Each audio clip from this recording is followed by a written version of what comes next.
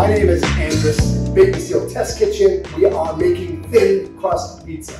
This is one of my favorite styles because we love pizza, but it's a little less dough and it's crispier. It's just amazing. So we're gonna share, we're gonna go through both um, sides. We actually make the dough for you.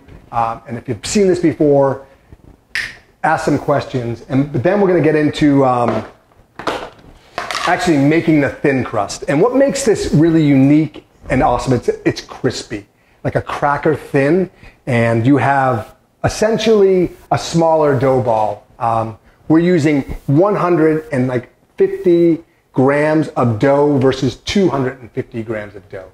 Thin crust pizza just is amazing on a baking steel in your oven. If you don't have a baking steel, pizza stone's okay, but you're really not gonna get the benefit of that steel crisping it up in a home environment, which is just awesome. Um, let's talk dough first. At least a 24 hour dough. We like two, three day dough. If you've been following us enough, um, that's critical. For the flour, we're using a, uh, a bread flour. This is, a, this is essentially our 72 hour dough um, with a different size. So let's go through the steps. Measure everything with a scale, okay? Because the scale dials in the water to flour ratio beautifully and perfectly. And this is a science experiment, so we need to dial that in really well. Uh, we'll take 500 grams of flour, 16 grams of sea salt. I'm gonna dump it into my flour and just whisk it around. I treat each ingredient separately so they don't like kind of come in contact with each other. Once I whisk this, I'm going to take one gram of active dry yeast. This is Fleischmann's. It's a micro amount. Um, and I urge you to get yourself another scale. This is called a micro scale. It's a lot smaller. It can measure to the one one hundredth of a gram, which is minuscule. So again, these are um, available. This is a brand called Salter. I think we found it at Sur La Table. Whisk it in with the salt, okay, and the flour.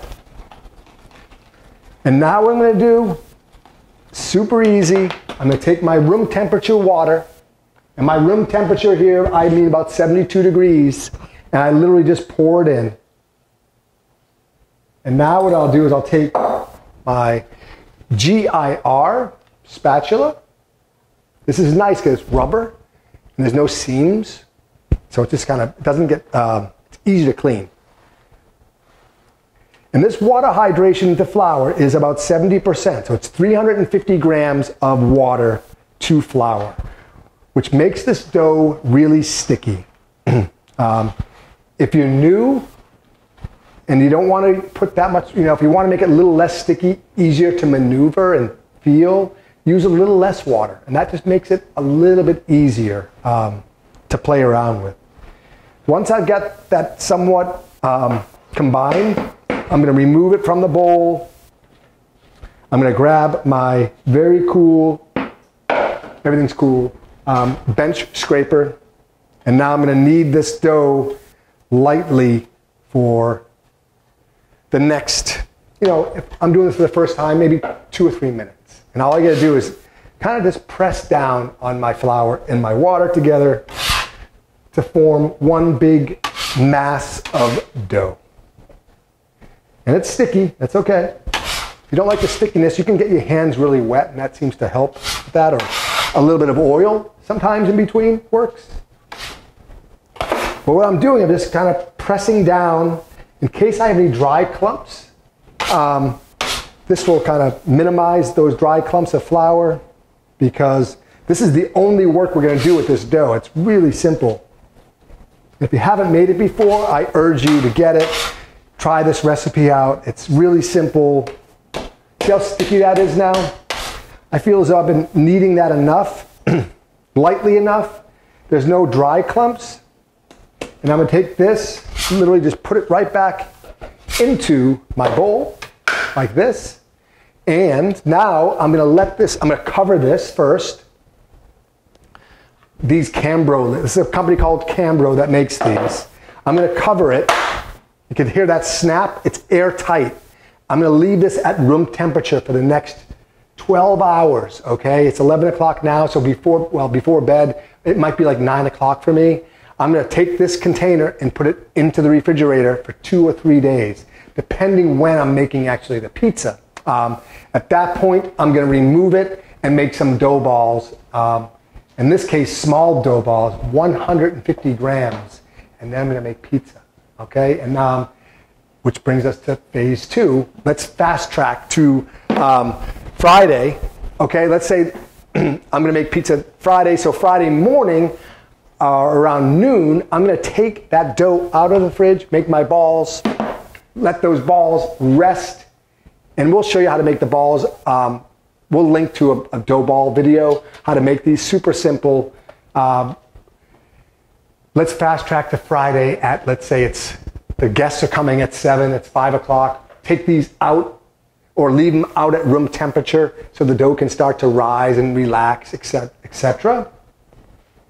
At that point, about an hour before making pizza, I'm going to fire my oven up to 500 degrees Fahrenheit. Um, if you have convection, use the convection. Remember, the, the, convection is just a fan that blows around in the back of um, your oven to even out that heat. So we want 500 degrees for a minimum of one hour.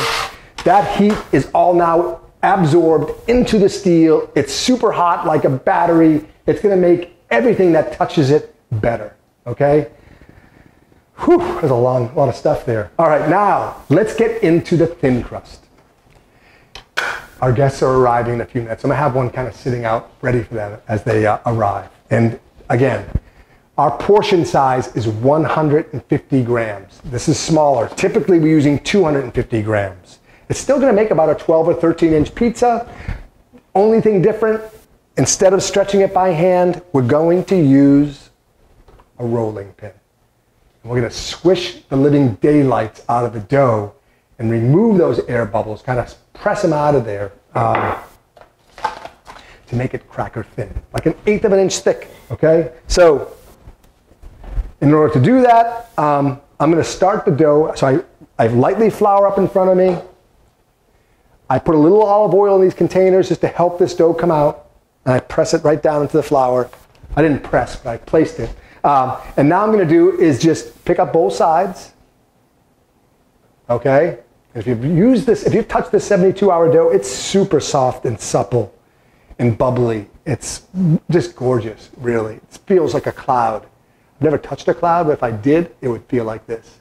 Um, and I'm just lightly pressing, okay? And it's starting to expand in size. And you see these bubbles. Can you see the bubble, Chef? You guys see that bubble there? I'm going to squish it out. And typically I don't do that. I like my bubbles. But for the thin crust, a term that might come up with thin crust pizza is called docking. Um, and actually, I'm going to show you a docker in a minute. We might, I think we have one somewhere, don't we? Have one somewhere?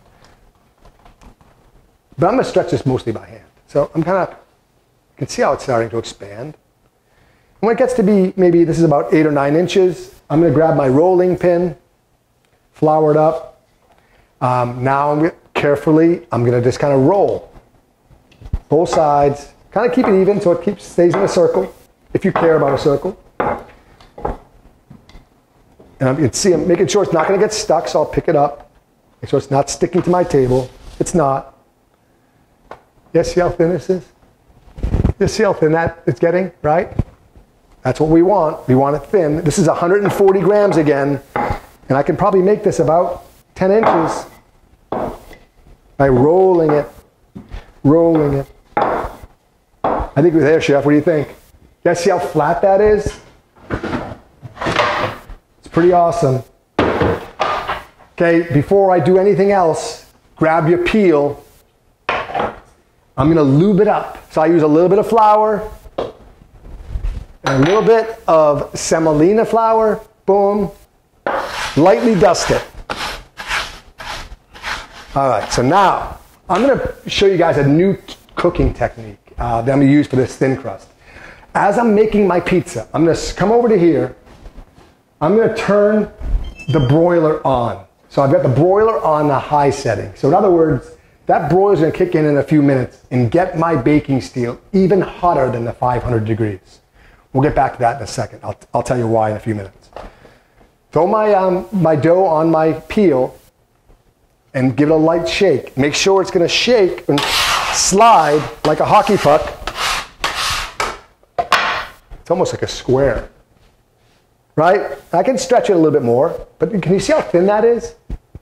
Like, that's really thin. You see the thinness? Really very little air bubbles.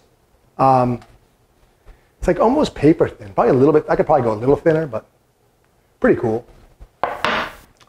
Let's talk sauce. My thin crust. Uh, this is crushed tomatoes. Show you the tomatoes I'm using.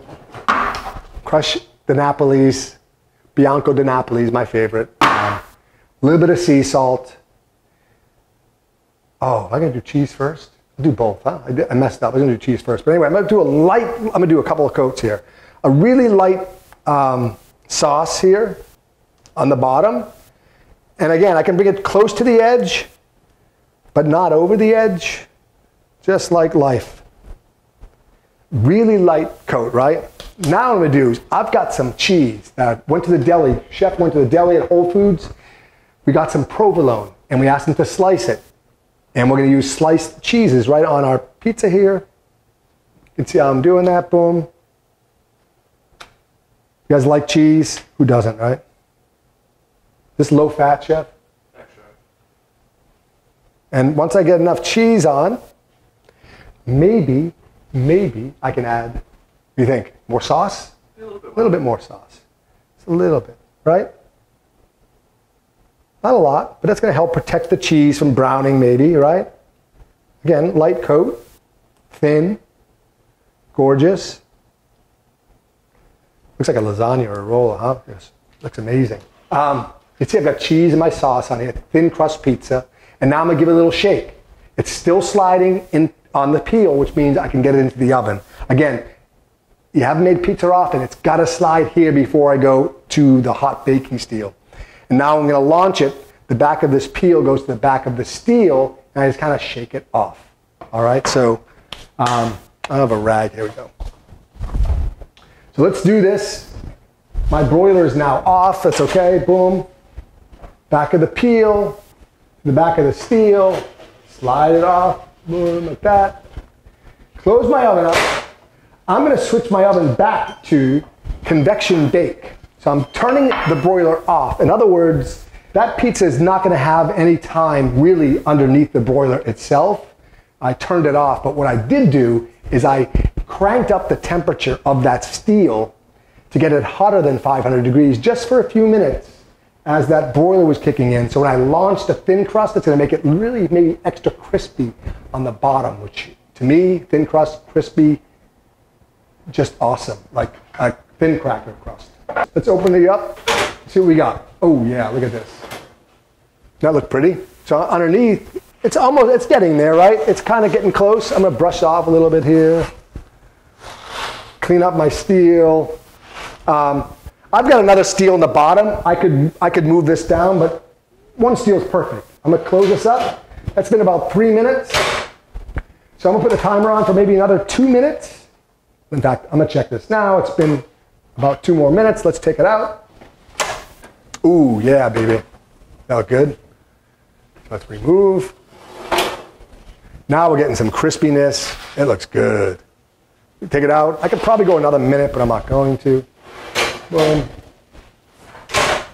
Yeah, I see this cracker thin pizza, right? Cooked underneath it beautifully. It's pretty, it's hot. Um, pretty, pretty, pretty strong, right? What do you think? Now, it's gorgeous. You can see this. Boom, right? Get some nice colors on the edge. I could go a little bit more if I wanted to, but I don't want to. Um, let's top it off. What do you think? Basil, chef? Yes, yes. Chiffonade? No. No? More. Huh? Whole? We're gonna we're gonna tear it. How's that? All right. Just gonna take some basil, just throw it down, smaller pieces. You can do big pieces, small pieces, maybe a little bit of olive oil, chef. What do you think? As big as your head. It's almost almost as big as my head. A little bit more. Oh man, this looks incredible, doesn't it? Man, it doesn't get, huh? Parma would have been good too. Oh, do you have any parm in there? Let's see. Basil. What did I do? Olive oil. Just a little bit. a Little bit of, a little bit of olive oil. And then we're gonna take a little parm and just kind of top it. Oh man, this looks good, huh? Jeez. I don't think you can get a better pizza anywhere, chef. What do you think? No. No way. But this is a literally a, like a, this is a four day dough. Um, oh my goodness, unbelievable!